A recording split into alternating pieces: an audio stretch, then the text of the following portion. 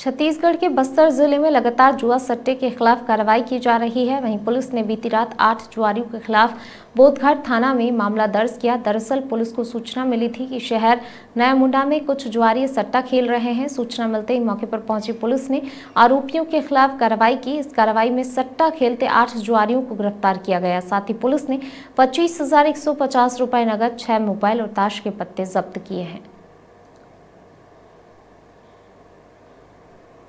मामला थाना बुद्धघाट क्षेत्र का है, जहाँ आज सूचना प्राप्त हुआ था कि नया मुंडा क्षेत्र में कुछ जुआड़ियों के द्वारा ताश के पत्तों से जो है जुआ का खेल खेला जा रहा है। सूचना पर थाना प्रभारी बोधघाट लालजी सिन्हा के नेतृत्व में टीम गठित कर कार्यवाही हेतु तो रवाना किया गया था। उक्त टीम के द्वारा नया मुंडा में एक दर्शित स्थल पर जो है घेराबंदी कर रेड कार्रवाई किया गया और इस रेड कार्रवाई के दौरान जो है मौके से कुल आठ जुआरी जुआ का खेल खेलते रंगे हाथ पकड़ा गया है।